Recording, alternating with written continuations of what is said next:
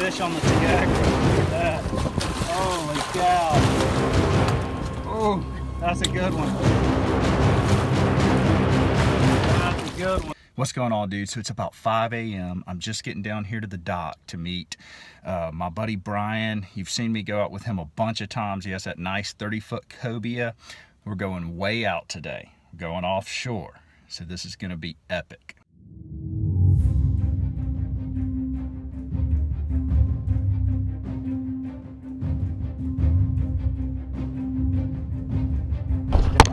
Big and hammered the Tiagra. There he is.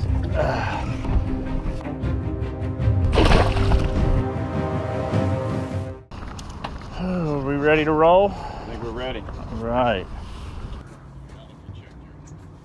Uh, they're not filling up right now. Is your Ford still on? Yeah. Getting a late start this morning. We uh, we had some wiring issues, but uh, we just fixed them. Got a about an hour delay, but now we're heading out. So now something good's gonna happen.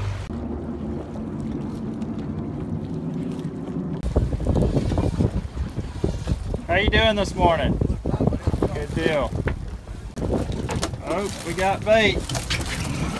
They're dropping everywhere. All right, come back to the back real quick. That was some quick bait fishing. Those sabikis came in handy. So after fixing some electrical issues, we stopped by the bait boat to fill the live well full of bait and then headed south 25 miles to some deep rocks that I had hoped were holding a bunch of fish. We just got out here. Clay's got our first fish hooked up. It's fighting like a pretty good one too. I see color. You gotta be kidding me, man. A red snapper out here. I don't think I've ever caught a red snapper on this spot ever. Well, I got skills. There you go. All right, let's throw a bait out the back and see what happens here.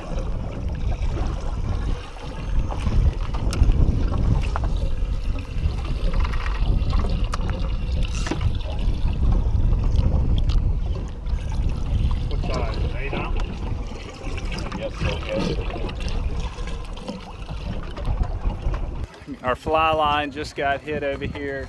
Got something coming up. He ate it on top. Got some clay? Blaze on over here, man. We got three fish on at a time.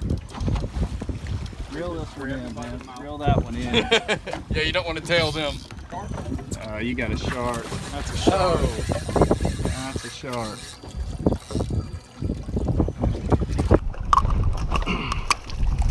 There he is.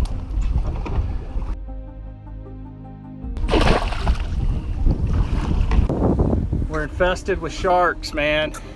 Got to make a move. They're everywhere.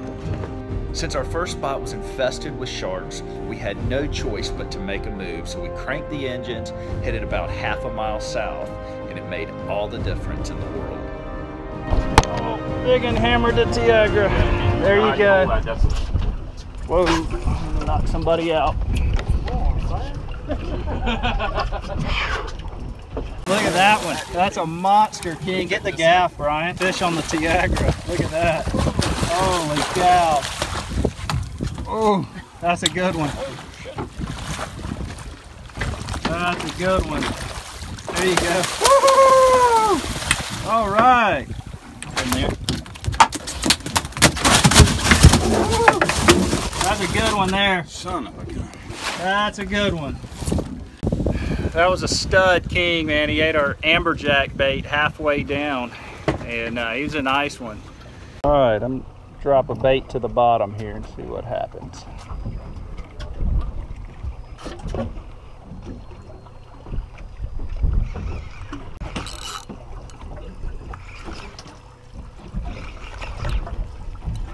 There he is. Ah.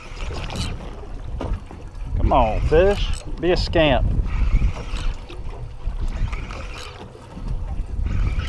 That's what I'm talking about, right there.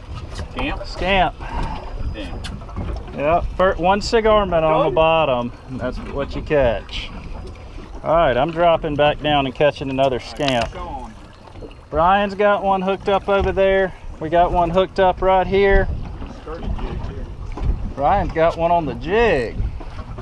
Got him on the jig, man. Look at that. That's a nice vermilion. Heck yeah. Come on, fish.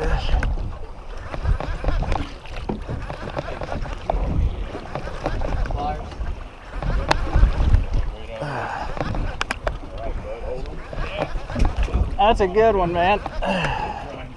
Come on, fish. What we got? What we working with here? I'm about to join you, Clay. Yep. All right. I'm about to join you. Look at there. That is a really nice vermilion snapper right there, man. That's as good as they get. So this spot proved to really be holding a bunch of fish. I mean, we filled the ice chest with giant vermilion snapper, scamp grouper, uh, lane snapper, almaco jacks, kings, and released a ton of other fish. Got him. Yeah. One of them damn little side fins. Got him. That's another nice one here. Nope, I got an almaco. That's a keeper. Yep. That's a keeper almaco. All right, that's an almaco jack. Jack. It's like a amberjack, but looks a little different. Yeah. All right, we're gonna start heading back. Bite kind of slowed down. We're gonna look for some mahi or something on the way in. Caught a bunch of fish out here this morning though.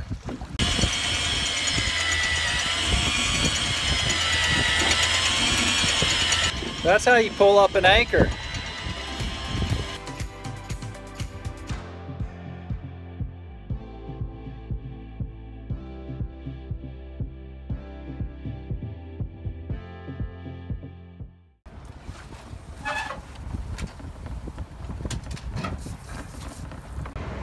Nice little haul of fish. So after some quick fish cleaning, I decided to take some of the scamp home and cook it up for dinner because scamp grouper is by far one of my favorite fish to eat.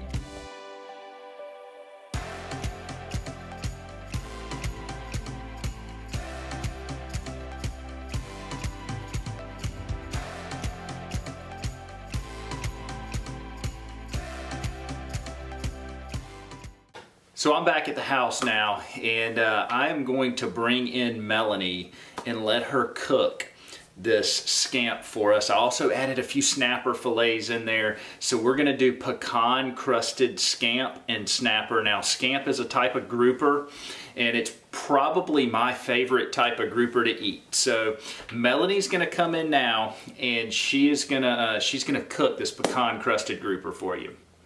Hey guys, I'm so excited to share with you this awesome recipe. It's actually a West Indian recipe, so it's a little bit spicy and a little bit sweet, and I think you're really gonna like it. So let's get started with the marinade. I'm gonna first chop up some garlic, and I'm gonna finely chop it, and then I'm gonna add in a jalapeno. And you can also add a scotch bonnet or a red jalapeno, but I'm just using a green jalapeno and I'm gonna keep the seeds in so it's a little bit spicy. And I'm gonna finely chop this jalapeno and then I'm gonna add it to my lime juice. So now that I've got the garlic and the jalapeno added, I wanna add in some herbs and I wanna season it. So I'm gonna add in some dried thyme, some salt, and some pepper. And now we're gonna get this marinade right over the fish. I'm gonna stir it really well together, get the fish coated, and then we'll let this marinade for about 10 minutes.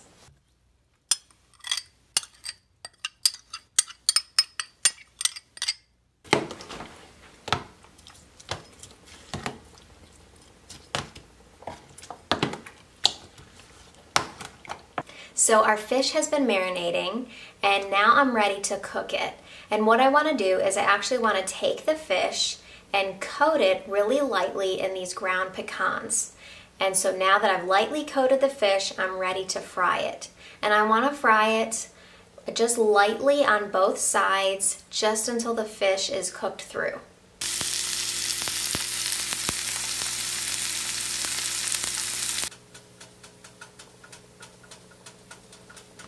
So now that our fish has been cooked, I want to make this sauce. And so I'm going to start by making the sauce in the blender. It'll give it a nice texture and it'll be both acidic and sweet and it'll go really well with the fish. So I'm going to put in the blender the wet ingredients first. I'm going to start with a little bit of water and some olive oil. I'm also going to add some vinegar and some lime juice. Next I'm going to add the garlic and half of a jalapeno, which I kept the seeds in so will still give us some heat. I'm also going to add in a red onion and some cilantro. Now the last ingredient is one of the most important and that is the capers because the capers really give this sauce a nice acidic bite. And then um, to sweeten it up a little bit, um, the actual last ingredient is the coconut palm sugar.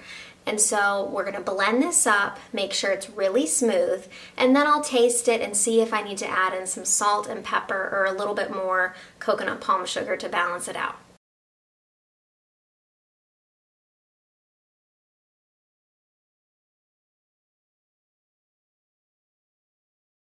So the fish is finished and so is our sauce. I went ahead and seasoned the fish again with a little bit of salt and pepper.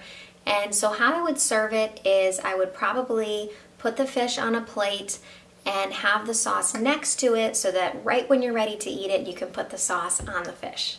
So I hope you guys liked Melanie's performance in the kitchen. This uh, this food looks awesome. So now uh, we're gonna try this version of the pecan crusted grouper and snapper uh, I've actually had this sauce before once uh, in, in our catch and cook party video a few videos back.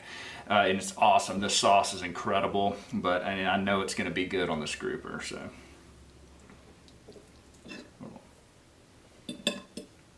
all right, here goes nothing. Pecan crusted grouper. So, what did you think? That's awesome. I love the uh, coconut palm sugar in that sauce. It's uh, a nice balance of sweet and salty. Phenom and obviously grouper is already a phenomenal fish to eat. Very mild, firm fish, um, and I loved everything about it. The fish has just been cooked really gently. I mean, you know, it's been marinated in that lime juice and the thyme. So the thyme gives it that kind of earthy flavor. And then, you know, it's got that pecan coating, so it's kind of crispy. And then the sauce is that vinegar, acidic with the capers and the cilantro. And then you add that little bit of coconut palm sugar and it's a very savory but spicy um, fish. I think it tastes really good there you go, guys. Uh, we, we, already knew the grouper was going to be awesome, and groupers are great fish. And uh, man, we had a great time out there yesterday catching this fish. It's always a pleasure to fish with Brian and his crew. I mean, they're just great, great people. Also, guys, I, I know this is happening to a lot of uh, YouTube creators, but YouTube is not sending out a notification to any of our to many of our subscribers when uh, when we post a video. So if you'll click the notification on right next to the subscribe button on my channel, that way you'll get notified every time I post a video. That would be awesome. So uh, guys, if you enjoyed this video, shoot me a thumbs up. Let me know that you like it, and I'll keep doing more. You guys have a great week.